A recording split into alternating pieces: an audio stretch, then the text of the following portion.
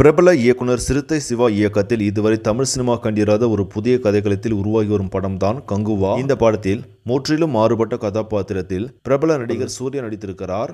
மேலும் இந்த படத்தில் அவர் இருவேறு கதாபாத்திரங்களில் நடித்திருப்பதாக கூறப்படுகிறது. தற்போது அந்த திரைப்படத்திலிருந்து ஒரு கிளிம்சே காட்சி வெளியாகி உள்ளது. இதனை வைத்து பார்க்கும் பொழுது இருவேறு இனக்கூட்டங்களுக்கு இடையே ஏற்பட்ட போரை மையமாக கொண்டுதான் இந்த திரைப்படம் உருவாகியுள்ளதாக தெரிகின்றது.